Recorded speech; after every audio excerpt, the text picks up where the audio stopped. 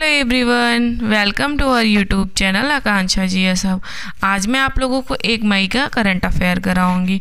एक मई से जितने भी इंपॉर्टेंट क्वेश्चन हो सकते हैं, वो कराऊँगी, उससे जुड़े फैक्ट बताऊँगी। मैंने अभी मंथली का वो बनाया, एक अप्रैल, पूरा अप्रैल से, एक अप्रैल से लेकर तीस अप्रैल तक का क्वेश्चन का। आप लोग उसको देख लीजिएगा रिविज़न हो जाएगा। वैसे तो मैं डेली करंट अफेयर कराती हूँ, लेकिन मैंने मंथली का भी रिविज़न करवा दिया है। तो फिर शुरू करते हैं अपना आज का करेंट अफेयर और अपना क्वेश्चन देखते हैं। तो शुरू करते हैं हम अपना एक मई का करेंट अफेयर।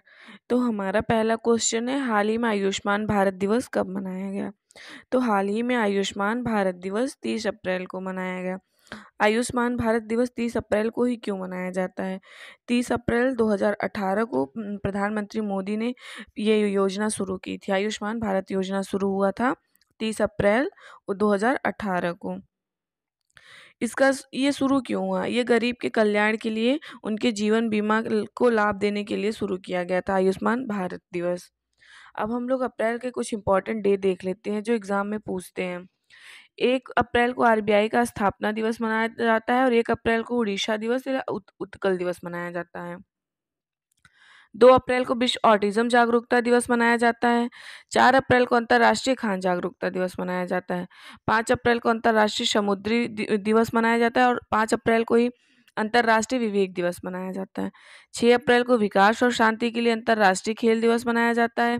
सात अप्रैल को विश्व स्वास्थ्य दिवस मनाया जाता है। दस अप्रैल को विश्व होम्योपैथिक दिवस मनाया जाता है जिसका थीम है वन हेल्थ वन फैमिली ग्यारह अप्रैल को राष्ट्रीय सुरक्षित मातृत्व दिवस और विश्व पार्किंसंस दिवस मनाया जाता है। बारह अप्रैल को मानव अंतरिक्ष उड़ान का अंतर्राष्ट्रीय दिवस मनाया जाता है। चौदह अप्रैल को विश्व विश्व चगास रोग दिवस मनाया जाता है। पंद्रह अप्रैल को विश्व कला दिवस मनाया जाता है। सोलह अप्रैल को हाथी बचाओ दिवस मनाया जाता है। सत्रह अप्रैल को विश्व हीमोफीलिया दिवस मनाया जाता है। अठारह अप्रैल को विश्व विरासत दिवस मनाया जाता है, उन्नीस अप्रैल को विश्व लीवर दिवस मनाया जाता है, बीस अप्रैल को चीनी भाषा दिवस मनाया जाता है, इक्कीस अप्रैल को राष्ट्रीय सिविल सेवा दिवस मनाया जाता है, बाईस अप्रैल को विश्व पृथ्वी दिवस मनाया जाता है, तेईस अप्रैल को विलियम शेक्सपियर की जयंती मनाई जाती है, चौबीस अप्रैल को राष्ट्रीय पंचायती राज दिवस मनाया जाता है। पच्चीस अप्रैल को विश्व मलेरिया दिवस मनाया जाता है, पच्चीस अप्रैल को अंतर्राष्ट्रीय प्रतिनिधि दिवस मनाया जाता है, अट्ठाईस अप्रैल को कार्यस्थल पर सुरक्षा और स्वास्थ्य के लिए विश्व दिवस मनाया जाता है। ये अप्रैल के कुछ इंपॉर्टेंट डे थे, जो काफ़ी इंपॉर्टेंट है, आप लोग इसको एग्ज़ाम में एग्ज़ाम में ज़रूर आता है, आप लोग इसको याद रखिएगा। अगला क्वेश्चन है, हाल ही में किस आईआईटी ने साइबर सुरक्षा कौशल कार्यक्रम शुरू किया है? तो साइबर सुरक्षा कौशल कार्यक्रम शुरू किया है आईआईटी कानपुर ने। आईआईटी कानपुर ने साइबर सुरक्षा कौशल कार्यक्रम शुरू किया है। अब हम आईआईटी के बारे में कुछ डिटेल्स देख लेते हैं। आईआईटी गुवाहाटी के वैज्ञानिकों ने टाइम बम लिक्विड मार्बल विकसित किया है। आईआईटी मद्रास, तंजानिया में अपना पहला अंतर्राष्ट्रीय परिसर स्थापित करेगा। टचलेस बायोमेट्रिक सिस्टम विकसित करने के लिए आईआईटी बॉम्बे ने यूआईडी आई के साथ साझेदारी की है। आईआईटी मद्रास ने दूध में मिलावट का पता लगाने के लिए उप, उपकरण विकसित किया है। आईआईटी रुड़की के वैज्ञानिकों ने नए जीवारोधी अणु IIT R zero zero six nine three की खोज की है। रिलायंस लाइफ साइंसेज को आईआईटी कानपुर से जीन थेरेपी टेक्नोलॉजी का लाइसेंस मिला है। तो ये आई आईआईटी के बारे में कुछ इंपॉर्टेंट क्वेश्चन थे।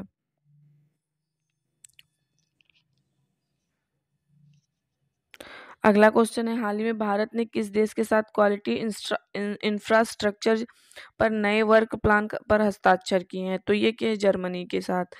भा, भारत ने जर्मनी के साथ क्वालिटी इंफ्रास्ट्रक्चर पर नए वर्क प्लान का हस्ताक्षर किया है। अब जर्मनी जर्मनी की राजधानी है वर्लिन और यहाँ की करेंसी है यूरो अब कुछ इम्पोर्टेंट फैक्ट देख लेते हैं। जर्मनी की पूर्व चांसलर एंजेला मर्केल को जर्मनी का सर्वोच्च सम्मान मिला है। जर्मनी अपने अंतिम शेष तीन परमाणु संयंत्रों को बंद करेगा। सर्वश्रेष्ठ सार्वजनिक परिवहन वाले शहरों की लिस्ट में वर्लिन शीर्ष पर रहा है। यूनेस्को शांति पुरस्कार से एंजेला मर्केल को सम्मानित किया गया है। विश्व, हॉकी विश्व कप 2023 जर्मनी ने जीता है। तीसवीं पीटर्सबर्ग जलवायु वार्ता जर्मनी में हुई है। ये जर्मनी के बारे में कुछ इंपॉर्टेंट फैक्ट थे, आप इसको याद रखिएगा।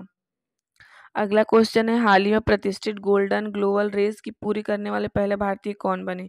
तो गोल्डन ग्लोब रेस पूरी करने वाले पहले भारतीय बने हैं अभिलाष टामी। अभिलाष टामी जो है, भारतीय नौसेना के रिटायर अधिकारी हैं और ये गोल्डन ग्लोबल रेस पूरी करने वाले पहले भारतीय बने हैं अभिलाष टॉमी। अगला क्वेश्चन है, हाल ही में किसी आईएएआई का मेधावी सेवा पुरस्कार मिला है। तो ये मिला है नवाब मोहम्मद अब्दुल अली को। आई ए आई ए ए का मेधावी पुरस्कार मिला है नवाब मोहम्मद अब्दुल अली को। अब कुछ इम्पोर्टेंट देख लेते हैं, किसको कौन सा पुरस्कार मिला है? दलाई लामा को चौसठ साल बाद व्यक्तिगत रूप से रेमन मैक्सिस पुरस्कार मिला है। विद्या बालन को लता दीनानाथ मंगेशकर अवार्ड मिला है। सबसे पहले लता दीनानाथ मंगेशकर अवार्ड पीएम मोदी जी को मिला है, उसके बाद आशा भोसले को मिला है और थर्ड नंबर पे विद्या बालन को मिला है। वीरता पुरस्कार पाने वाली पहली आईएएफ अधिकारी दीपिका मिश्रा बनी है। उत्सा पटनायक को मेलकम आदिशेषिया पुरस्कार 2023 से सम्मानित किया गया है। प्रवासी भारतीय सम्मान से राजा, राज सुब्रमण्यम को सम्मानित किया गया है। अगला क्वेश्चन है, हाल ही में किसने कारीगरों और बुनकरों को आत्मनिर्भर बनाने के लिए हथकरघा हस्तशिल्प पोर्टल लॉन्च किया है? तो ये किया है केंद्रीय मंत्री पीयूष गोयल ने। पीयूष गोयल ने कारीगरों और बुनकरों को आत्मनिर्भर बनाने के लिए हथकरघा हस्तशिल्प पोर्टल लॉन्च किया है। अगला क्वेश्चन है, हाल ही में नेशनल मेडिकल डिवाइस पॉलिसी के तहत कितने मेडिकल डिवाइस पार्क की स्थापना की जाएगी? तो ये की जाएगी चार पार्क की। नेशनल मेडिकल डिवाइस पॉलिसी के तहत चार चार पार्क की स्थापना की जाएगी। अब ये चार पार्क हैं कौन? तो ये चार पार्क हैं। पहला है जो, वो खोला जाएगा हिमाचल प्रदेश में। दूसरा है उत्तर प्रदेश में, तीसरा है मध्य प्रदेश में और चौथा जो है वो तमिलनाडु में है। इन चार जगहों पे पार्क खोला जाएगा, मेडिकल डिवाइस पार्क। ये एग्ज़ाम के व्यू से काफ़ी इंपॉर्टेंट क्वेश्चन आप लोग इसको याद रखिएगा। अगला क्वेश्चन है, हाल ही में किस राज्य को स्वच्छता के लिए H U D C O से सम्मानित किया गया है तो हुडको से इसे सम्मानित किया गया है उत्तर प्रदेश को, उत्तर प्रदेश गवर्नमेंट को। अब हुड को क्या है? इसका फुल फॉर्म है housing and urban development corporation. अब उत्तर प्रदेश उत्तर प्रदेश की राजधानी है लखनऊ, और यहाँ के प्रेजेंट टाइम पे चीफ मिनिस्टर योगी आदित्यनाथ और यहाँ के गवर्नर हैं आनंदीबेन पटेल। अब अब उत्तर प्रदेश के बारे में कुछ इम्पोर्टेंट देख लेते हैं।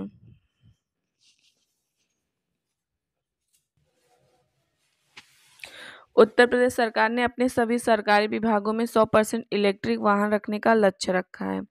उत्तर प्रदेश में लखनऊ एंड हरदोई में पीएम मित्रा पार्क की शुरुआत की जाएगी। उत्तर प्रदेश की सुहेलवा अभ्यारण्य में बाघों का पहला फोटोग्राफ प्रमाण में दर्ज किया गया है। ये उत्तर प्रदेश के बारे में कुछ इंपॉर्टेंट था। अगला क्वेश्चन है, हाल ही में प्रधानमंत्री मोदी ने एफएम कनेक्टिविटी को बढ़ावा देने के लिए कितने एफएम ट्रांसमीटरों का उद्घाटन किया है? तो इक्यानवे इक्यानवे ट्रांसमीटरों की उद्घाटन किया है प्रधानमंत्री मोदी ने। अगला क्वेश्चन है। हाल ही में प्रधानमंत्री ने कहा, Namo medical education and research institute का उद्घाटन किया है तो ये सिलवासा में किया है। सिलवासा में प्रधानमंत्री मोदी ने Namo medical education and research institute का उद्घाटन किया है। अगला क्वेश्चन है हाल ही में, आरबीआई ने किसे सिटी यूनियन बैंक के एमडी एंड सीईओ के रूप में नियुक्त किया है? तो आरबीआई ने नियुक्त किया है एन कामा कोडी को। एन कामा कोडी को नए सी एमडी और सीईओ के रूप में नियुक्त किया गया है। अब आरबीआई आरबीआई की स्थापना एक अप्रैल को 1935 में होती है, इसलिए हर साल एक अप्रैल को आरबीआई स्थापना दिवस मनाया जाता है। ये काफ़ी इंपॉर्टेंट है। अब हमेशा पूछता है आरबीआई की स्थापना कब हुई? अब हम लोग देख लेते हैं कुछ इम्पोर्टेंट एमडी और सीईओ अब प्रेजेंट टाइम पे याद रखिएगा आरबीआई के गवर्नर है शक्तिकांत दास। अब एम डी को देख लेते हैं। राष्ट्रीय सुरक्षा परिषद सचिवालय में सैन्य सलाहकार के रूप में संदीप सिंह को नियुक्त किया गया है। टाटा इलेक्ट्रॉनिक्स द्वारा रणधीर ठाकुर को एमडी और सीईओ के रूप में नियुक्त किया गया है। हिमाचल प्रदेश हाईकोर्ट के कार्यवाहक मुख्य न्यायाधीश के रूप में जज तरलोक सिंह चौहान को नियुक्त किया गया है। मद्रास हाई कोर्ट के अतिरिक्त न्यायाधीश के रूप में जज बट्टू देवानंद ने शपथ ली है। एलआईसी ने चीफ इन्वेस्टमेंट ऑफिसर के रूप में रत्नाकर पटनायक को नियुक्त किया है। ये कुछ इंपॉर्टेंट एम और सी थे, याद रखिएगा क्योंकि एग्ज़ाम में पूछते हैं। अगला क्वेश्चन है, हाल ही में किसने रिफ्लेक्शन नामक नई किताब का लोका, लोकार्पण किया है? रिफ्लेक्शन नामक नया, नई किताब का लोकार्पण किया है निर्मला सीतारमण ने, ये वित्त मंत्री हैं निर्मला सीतारमण ने। ये लिखा किसने था? रिफ्लेक्शन नामक पुस्तक, रिफ्लेक्शन नामक पुस्तक लिखा है नारायण बागुल ने। अगर पूछेगा रिफ्लेक्शन नामक पुस्तक कितने ने लिखा है तो नारायण बागुल ने। और इसका लोकार्पण किया है निर्मला सीतारमण। अगला क्वेश्चन है, हाल ही में कहा आर्टिलरी रेजिमेंट में पहली पहली महिला अधिकारी का पहला बैच कमीशन किया गया है? तो ये किया गया है चेन्नई में।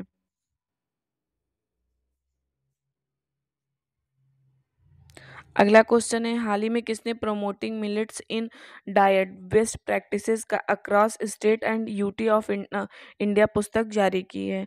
तो ये की है नीति आयोग। नीति आयोग ने जारी की है, आप लोग बुक का नाम याद रखिएगा। Promoting millets in diets best practices across state and UT of India नामक पुस्तक नीति आयोग ने जारी की है।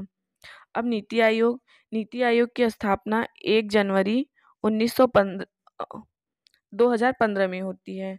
इसकी स्थापना किए थे प्रधानमंत्री मोदी ने। इसका हेडक्वार्टर है न्यू दिल्ली में और इसके प्रेजेंट टाइम पे चेयरमैन है पीएम मोदी और इसके वाइस चेयरमैन सुमन वैरी। और नीति आयोग की स्थापना एक जनवरी 2015 में हुई थी। ये इंपॉर्टेंट है, पूछता है नीति आयोग का स्थापना कब हुआ था? अगला क्वेश्चन है, हाल ही में केंद्रीय कैबिनेट ने देश में कितने नर्सिंग कॉलेजों की स्थापना दी है, की है की स्थापना की मंजूरी दी है? तो केंद्रीय कैबिनेट ने, केंद्रीय कैबिनेट ने देश में कितने नर्सिंग कॉलेजों कॉलेजों की स्थापना को मंजूरी दी है? तो ये दी है 157 कॉलेजों को। इसका आंसर है 157 वीडियो पसंद आए तो चैनल को सब्सक्राइब करिएगा। आज का करंट अफेयर समाप्त होता है। Thank you everyone